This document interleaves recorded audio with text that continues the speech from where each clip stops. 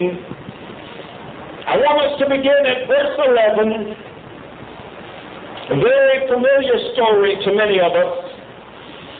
Luke chapter 15, beginning at verse 11. When you found the text, I would ask you please to stand in honor of the reading of God's Word. Amen. Luke chapter 15, beginning at verse 11. And the Word of our God reads in this fashion then he said, speaking of Jesus, a certain man had two sons, and the younger of them said to his father, Father, give me the portion of goods that falls to me. So he divided to them his livelihood. And not many days after, the younger son gathered all together, journeyed to a far country, and there wasted his possessions with prodigal living. But when he had spent all, there arose a severe famine in that land, and he began to be in want. Then he went and joined himself to a citizen of that country, and he sent him into the fields to feed swine. And he would gladly have filled his stomach with the pods that the swine ate, and no one gave him anything. But when he came to himself, he said, listen to this, children, this is sweet. How many of my father's hired servants have bread enough to spare, and I perish with hunger? I will arise and go to my father, and will say to him, Father, I have sinned against heaven and before you, and I am no longer worthy to be called your son. If you're so convinced you're no longer worthy to be called his son, why are you addressing him as father? I think this prodigal son had more of an understanding of the nature of his dad than he than this story lets on. Are you following me today? He said, I'm no longer worthy to be called your son. Make me like one of your hired servants. And he arose and came to his father. But when he was still a great way off, his father saw him and had compassion and ran and fell on his neck and kissed him. And the son said to him, Father, I have sinned against heaven and in your sight, and am no longer worthy to be called your son. But, but the father but the father said to his servants, Bring out the best robe and put it on him, and put a ring on his hand and sandals on his feet, and bring the fatted calf here and kill it, and let us eat and be merry. For this my son was dead and is alive again. He was lost and is found, and they began to be merry. I kind of picked an unusual text today for my subject matter, but you'll see why I chose it in a few moments. I'm going to ask you, would you bow with me and pray with me? Master, today we ask that you would anoint your messenger, anoint every word that's spoken. God, let it go forth in truth and boldness. Let it touch the heart of the hearer. Let it change the mind of the unsaved. Lord, let it convert the sinner from his sinful way and help us, God, to understand you and know you better. For we ask it all in the wonderful name of Jesus Christ our Lord. Amen. Praise God and amen. You may be seated. I didn't pick this story because I'm going to do a nice little tidy exegesis on the prodigal son, like most preachers do when you read this particular portion of Scripture and when they preach from this particular text. But anybody that knows me knows that I have a very unusual preaching style, so chances are I'm not going to approach things from the same angle everybody else is accustomed to approaching them. I want us to understand something from this story. And it's simple. We can learn it in three minutes flat. It won't take too long at all. This boy left the house a son, and he came back a son. Are you hearing me today? When he left his father's presence, he was a son. When he came back to his father, he was still a son when God has called you out uh, and brought you into this wonderful truth uh, and saved you by His grace, uh, you are a son indeed. Hallelujah. It doesn't matter whether you're outside or inside, you're still a son. Hallelujah. Glory to God. It didn't matter whether he was home or whether he was away from home. When he was looking at the pigs' flock, he still said, in my father's house. he knew where his identity lay. He knew that daddy was somewhere else. He knew that even though he wasn't in the father's house, he was still the father's son. Hallelujah. In John chapter 8, verses 31 through 36, then said Jesus to those Jews which believed on him, If ye continue in my word, then are ye my disciples indeed. And ye shall know the truth, and the truth shall make you free. They answered him, We be Abraham's seed and were never in bondage to any man. How sayest thou, ye shall be made free? Jesus answered them, Verily, verily I say unto you, whosoever committeth sin or unbelief is the servant of sin. And the servant abideth not in the house forever, but the Son abideth forever. If the Son therefore shall make you free, ye shall be free indeed. If you recall last week in my message, I made a point of this very same scripture. And I said that Jesus Christ might very well have simply said that if the Son has made you a son, you shall be a son indeed. Hallelujah. Because you see, we have not been called, like I said last week, we've not been called to be servants, but we've been called to be children. Hallelujah. We've not been called to serve, but we have been adopted by God Almighty into His family. And we therefore abide in the house of God today as children. Hallelujah. Now in 1 John chapter 3, beginning at verse 1 through verse 3, John writes something beautiful, something wonderful something that many churches like to gloss right over because it doesn't suit their religiosity, it doesn't suit their, their law abiding nature. But the Apostle John declares in John, 1 John chapter 3, beginning at verse 1, he said, Behold, what manner of love the Father has bestowed on us that we should be called children of God. Therefore, the world does not know us because it did not know Him. He's talking about the Father.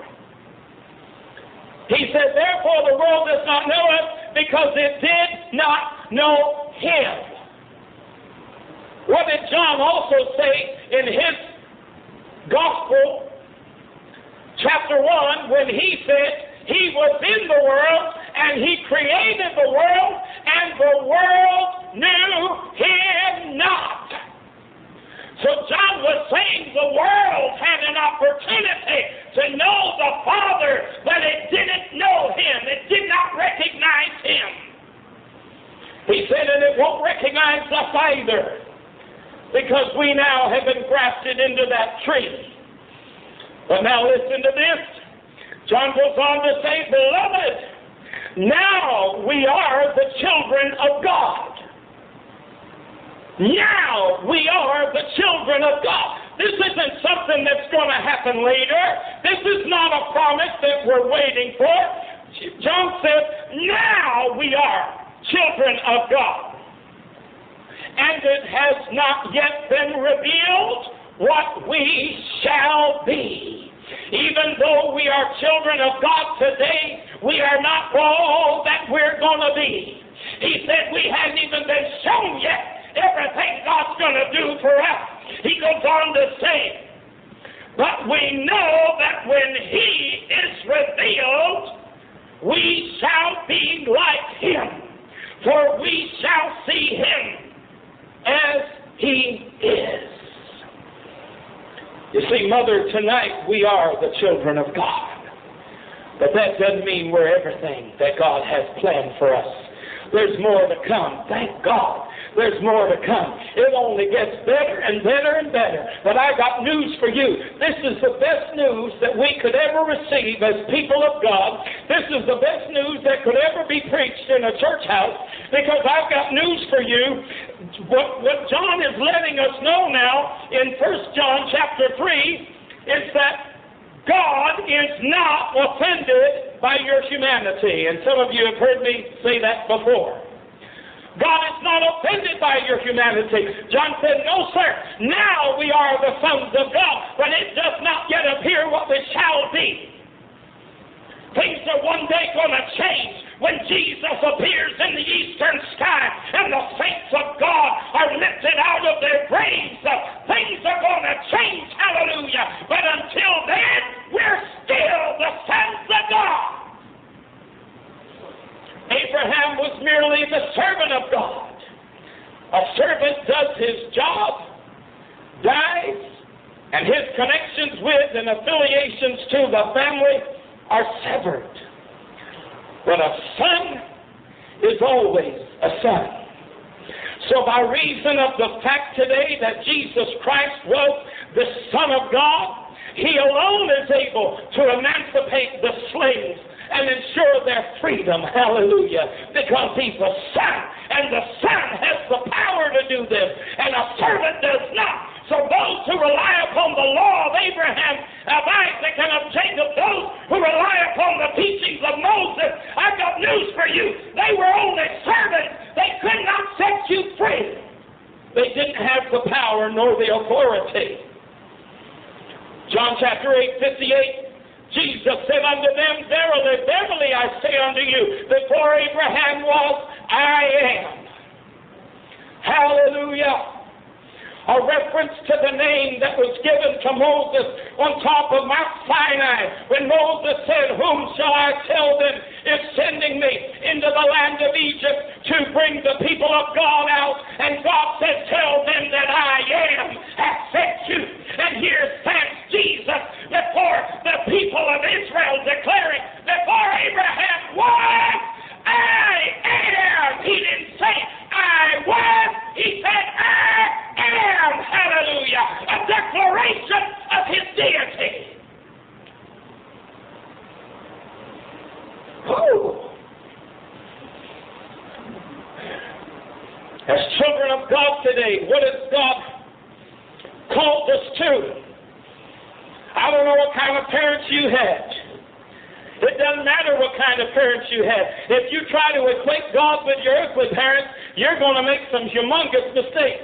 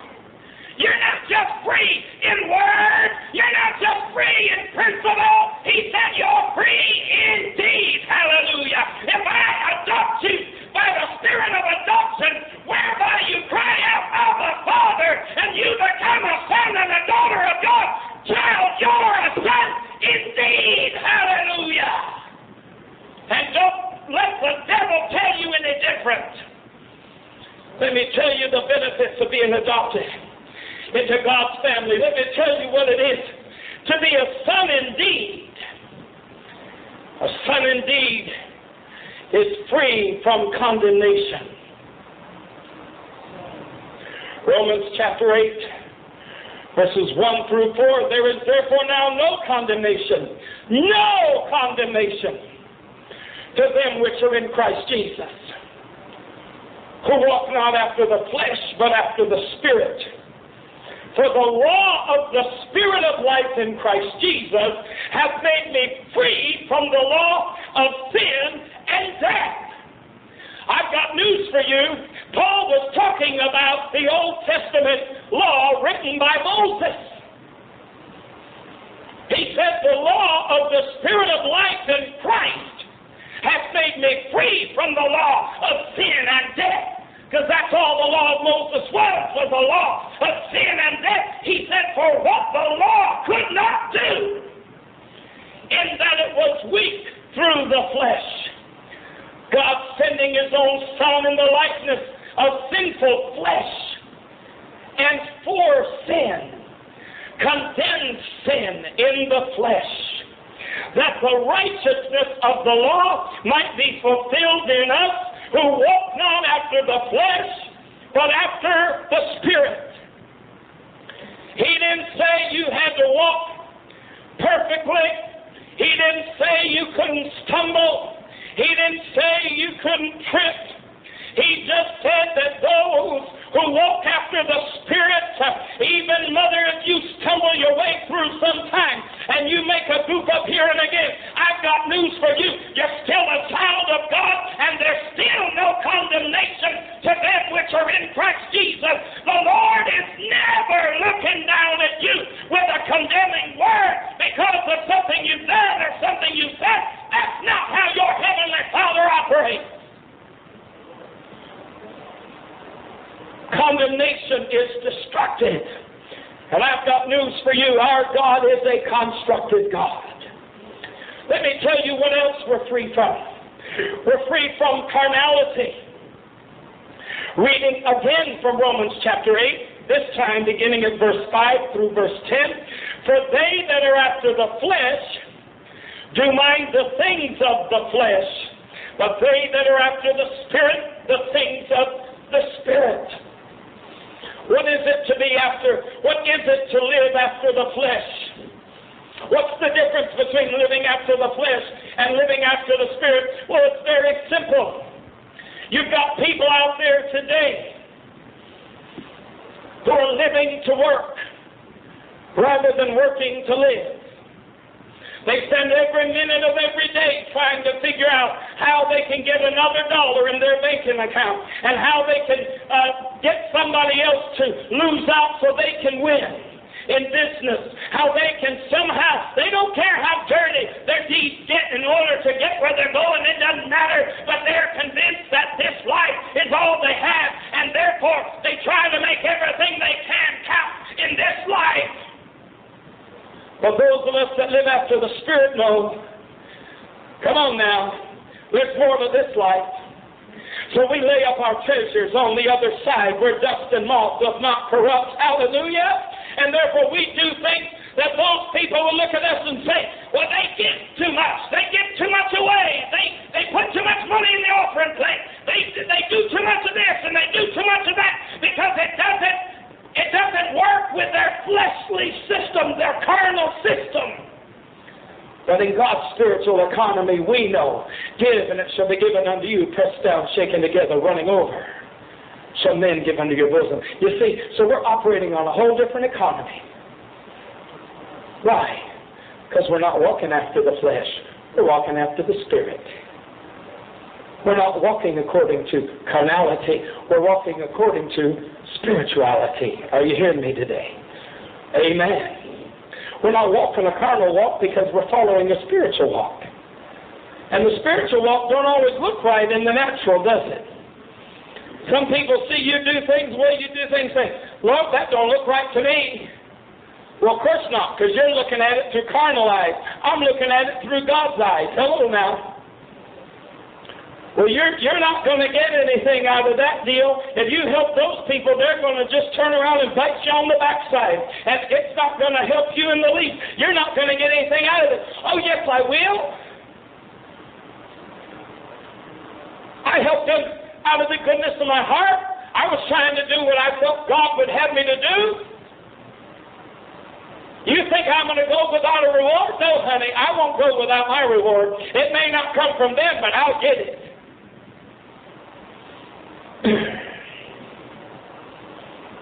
For to be carnally minded is death.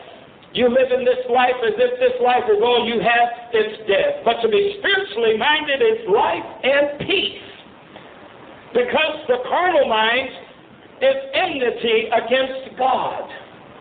For it is not subject to the law of God, neither indeed can it be.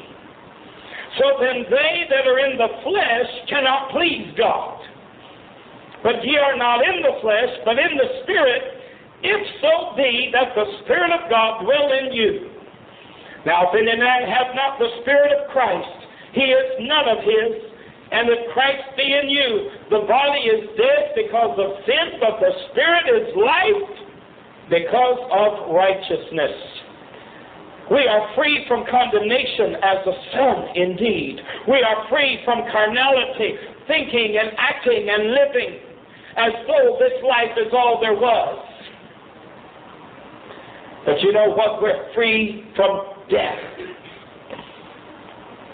as a son indeed. We're free from death. The Word of God declaring again in Romans chapter 8, now reading verses 11 through 13. But if the Spirit of Him that raised up Jesus from the dead dwell in you, he that raised up Christ from the dead shall also quicken your mortal bodies by his Spirit that dwelleth in you. Therefore, brethren, we are debtors not to the flesh to live after the flesh. For if ye live after the flesh, ye shall die. But if ye through the Spirit do mortify the deeds of the body, ye shall live. God has promised a resurrection for those who believe and obey His gospel. We're free from death. Death has no power over children of God. Amen. It has no power over a child of God. I got news for you. God has given us today the freedom to live as sons and daughters. say, well, Brother Morrow, I, I hear what you're saying, but that sounds like what you've just been saying. I, I don't really understand. Listen. For as many as are led by the Spirit of God, Romans chapter 8, again, beginning at verse 14, they are the sons of God.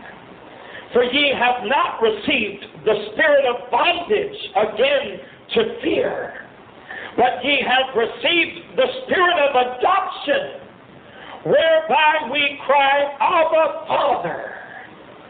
You know what Abba, Father translates in modern English? Daddy.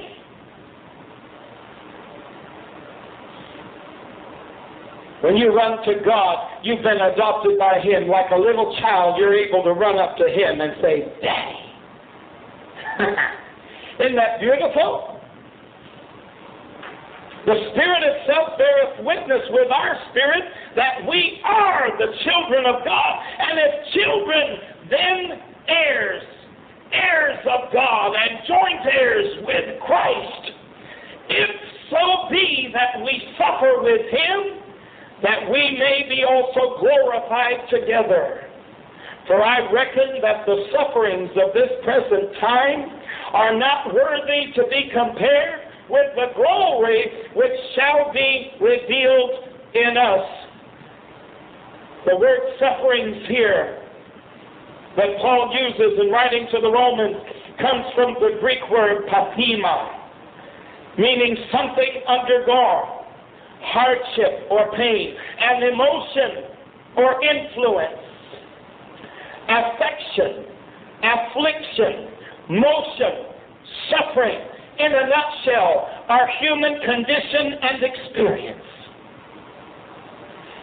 Paul is simply saying that our human condition and our experience as human beings cannot even begin to compare with the glory that shall be revealed in us.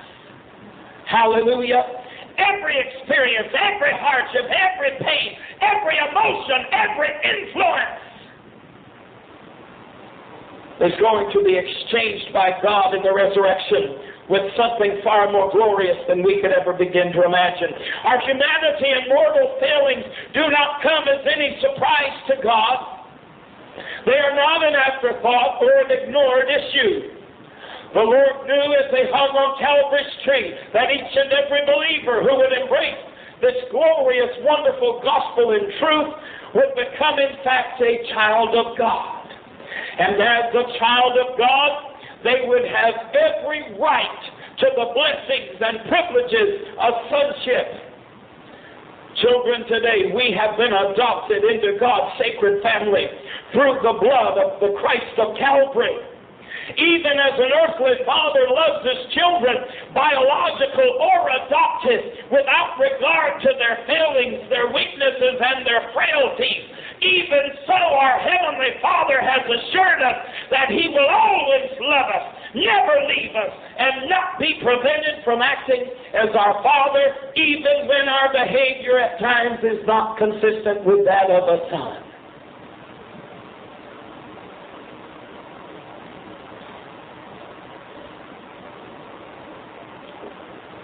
That prodigal's father could have had a lot to say when that son came home. Where you been? What you been doing? Who you been doing? Were they male or female? Where did all my money go? But look at the story. What do you read? I read where the father didn't even talk to the son. Oh, that was his punishment. He didn't talk to him yet. He was too busy talking to the servant, saying, Go get this boy a ring. Go get this boy a robe. Go get this boy some sandals. My God, this is my son, and no son of mine is going to stand in my house naked and destitute. Glory to God. If he's my child, he's going to look like my child. Hallelujah. I want you to know today, God has said, He has called you and I to sonship, to daughtership. He has called us to be His children. He has adopted us by His Spirit. And He says, children, don't you ever forget that as a child of God, you are free from condemnation. You are free from carnality. You're not living under the same law that these people out here in the dog-eat-dog world are living under. He said, you're free from all that. He said, You're free from death. While most people are living their lives so frantically because they see the grave as their end, you see it as a time for a new beginning. Hallelujah. What a way to live. Makes me think of that old song we used to sing in Church of God. Oh, what a glad and glorious thought that comes to me. I'll live on. Yes, I'll live on through eternity I'll live on. What a way to live when you got that thought in your mind the whole time. Isn't it wonderful when you can live your life and you know I'm going to live on. This life is only just a very tiny uh, bit of a stretch. It's kind of like a runway for me to get my wings and fly. But glory to God, when I hit the grave, I'll live on.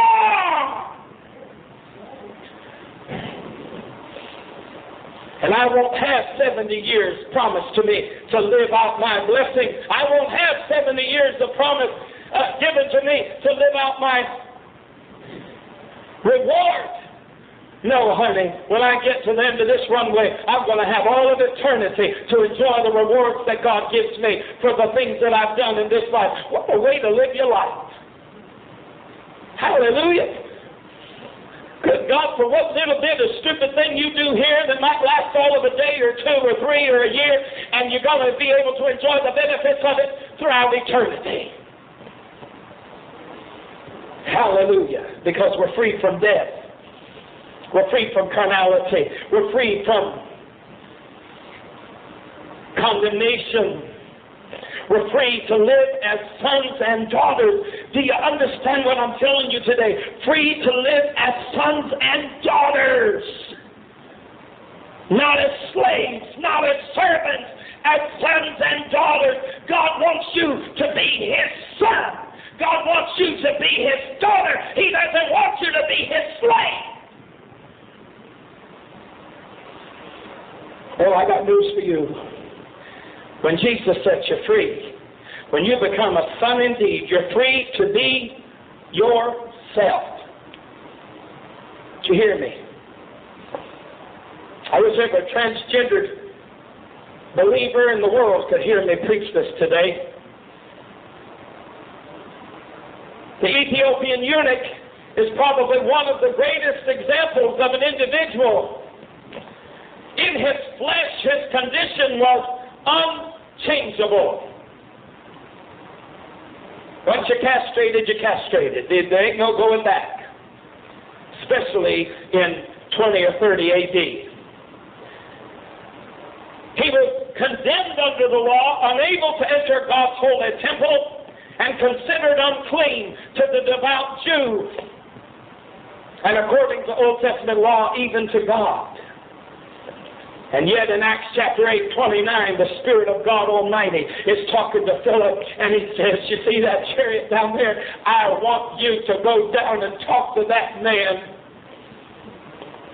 You know why people don't understand this church and why they don't understand what I'm doing? I'll tell you why. Because just like God talking to Philip that day, God is telling me to go talk to people that you wouldn't want to talk to, that you wouldn't think God even wanted to talk to. But God gave Philip the order. He didn't just go on his own. He went because the Spirit of the Lord motivated him to go. And then in Acts chapter 8, in verses 34 through 30, uh, 38, and the eunuch answered Philip and said, I pray thee, of whom speaketh the prophet? Uh, this of himself or of some other man? Then Philip opened his mouth and began at the same scripture and preached unto him Jesus. The eunuch was reading a portion in Isaiah. Who's he talking about? Is the, is the author writing about himself or somebody else? And Philip said, Oh no, the author was talking about Jesus. Let me tell you about Jesus. That's who he was writing about. The same one that Isaiah declared in other prophecy would be God in human form amongst men to be our Redeemer. He said, Let me tell you about that Jesus. And as they went on their way, they came unto a certain water, and the eunuch said, See, here is water. What doth hinder me to be baptized? And Philip said, If thou believest with all thine heart, thou mayest. Hallelujah. No talk of reversing his physical condition, no talk of undoing what had been done, no talk of his being unclean according to the law. No, Philip had the good news of the gospel behind him, and he said, If you believe with all of your heart, thou mayest. And he answered and said, I believe that Jesus Christ is the Son of God. And he commanded the chariot to stand still, and they both went down into the water, both Philip and the eunuch, and he baptized him. You see, when you come to God and you become His child, you're free to be yourself. You're free to be who you are. Come on now. God don't your your humanity don't begin to offend God. It doesn't hurt his feelings at all. He understood who you were before you ever come to him. Let me tell you what else you're free to do. You're free to live honestly. Look at the woman at the well in John chapter 4. Had a conversation with Jesus Christ that changed her life. But there were so many things that were working against her. She was a woman. She was a Samaritan. She was a divorcee who was now living with a man. Jesus fully understood she was a woman. But she asked him, how is it that you, being a Jew, askest drink of me, which am a woman of Samaria? For the Jews have no dealings with the Samaritans. You see, she was perfectly honest with him. She was perfectly upfront with him. She had nothing to hide from him. You hearing me today? When the Lord asked her, Go get your husband, the woman answered and said, I have no husband. Jesus said unto her, Thou hast well said, I have no husband, for thou hast had five husbands, and he whom thou now hast is not thy husband. In that thou saidst truly.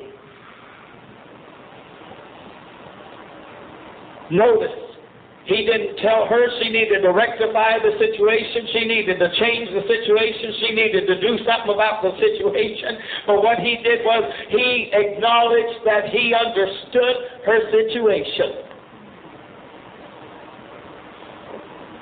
You become a child of God. I got news for you. God understands your situation. David the psalmist, he was living under the law, and he still wrote the words that I love in Psalm 103 when he said, He knows my frame, He remembers that I'm dust. That was under the law that David wrote that. And here we are under this great and wonderful dispensation of grace, and people still can't get it in their head that God knows what you're made out of. So just be honest with Him.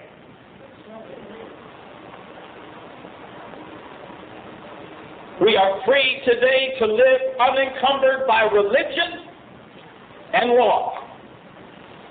I told you this message would be good for you, Tommy, didn't I? Romans chapter 8. There is therefore now no condemnation to them who are in Christ Jesus, who walk not after the flesh, but after the Spirit. For the Spirit, for the law of the Spirit of life in Christ Jesus hath made me free from the law of sin and death. You're free to live apart from, separated from, delivered from religion and law. Isn't that good news? You become a child of God, I got news for you. You listen to me now. This is a good point. I want you to take this one home with you. You let one of your kids come up to your house and throw a paintball at the side of the house. And you're going to deal with that child a whole lot differently than if one of the neighbor kids comes up and throws a paintball at the side of your house. Hello now. You're not going to call the law on your child. Did you hear my term? You're not going to call the law on your child. You're not going to sick the law on your child. No, no, no, no, no. That's your child. Whether they do something stupid or goofy or costly or what, they're still your child. Policemen would look at you funny if you tried to call them for something vandalous that a child of your own did to your property, wouldn't they? Why? Well, parents don't call the law when their own children vandalize their own property. That, that, that just doesn't happen. I got news for you. Jesus said, if you being evil know how to give good gifts unto your children, how much more does your Heavenly Father know how to give good gifts unto them that ask? There's really a greater principle involved here. He's saying, if you all, as human beings, think that you can do such nice things when really at the very root of your nature is no good, he said, for heaven's sake, somewhere you got to understand that your Heavenly Father is so much more capable of doing great and wonderful and nice and loving and gracious and merciful things. You see, we're called to live as children. You can throw that paintball upside the house of God, and you know what? God ain't going to call the law on you because you're free from the law. Why are you free from the law? Because you're His child. Did you hear me? You're free from the law because you are His child. And as His child, He will deal with you differently that he will deal with the one who would do the same exact thing that is not a member of his family. You know what else God assures his children today? He assures us freedom to enjoy life. How do you like that? Do you know, Mother, that God has said that we have the right to enjoy this time we have here? John 10 and 10, Jesus says, The thief cometh not but for to steal and to kill and to destroy. But I am come that they might have life, and that they might have it more abundantly. 1 Timothy 6 and 7, charge them that are rich in this world that they be not high-minded, nor trust in uncertain riches, but in the living God. Listen to this next phrase, who giveth us richly all things to enjoy. Amen. You come to God and you, you become a child of God, all of a sudden the world is your oyster.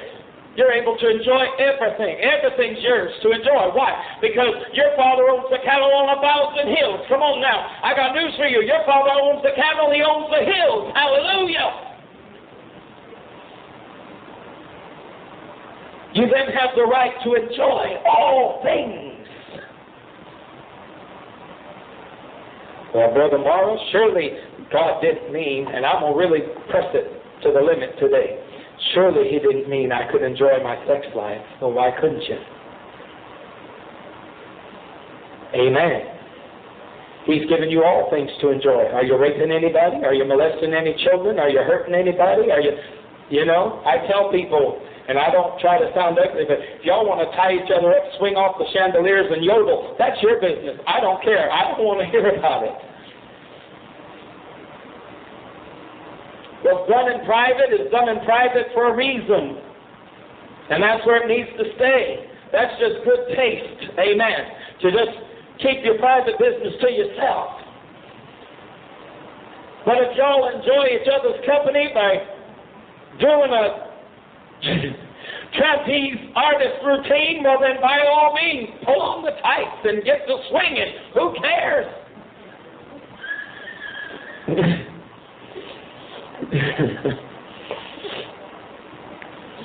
food. Can I enjoy food? Well, why can't you? God's given you all things to enjoy. Amen. I, can I dress nice? Can I enjoy clothing? Yes. What what did we read? What did Paul write to Timothy? Did he say that you couldn't enjoy these things? No. He said what you can't do is trust in them.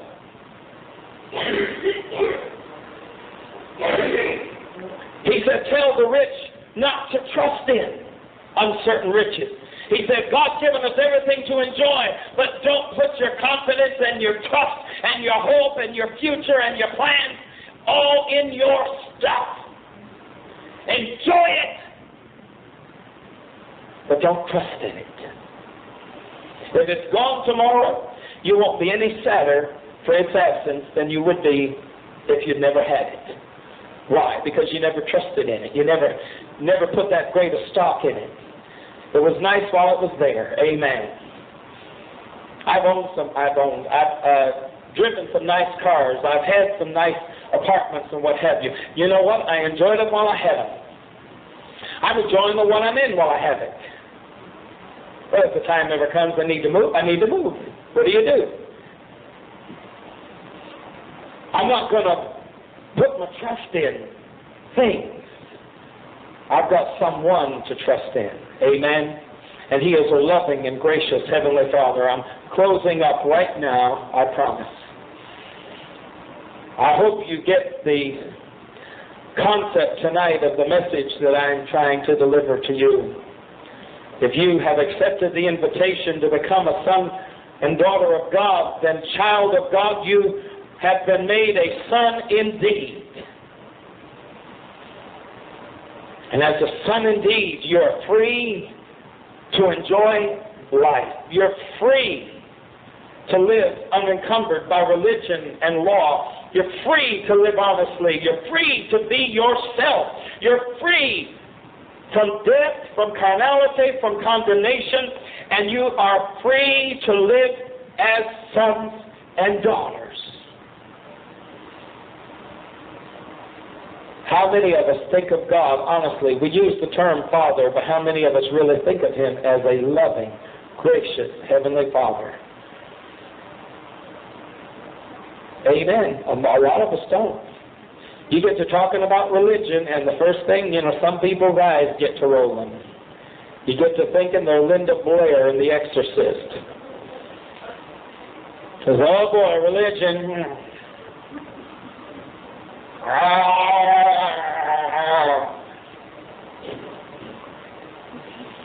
You know why? Because their concept of God is anything but a loving and gracious and giving Heavenly Father. Am I telling the truth tonight? I know I am. And that's where the line of difference is wrong. Why people can't understand sometimes why Morrow can talk about the Lord day in and day out. Because I tell you what, he ain't been nothing but wonderful to me.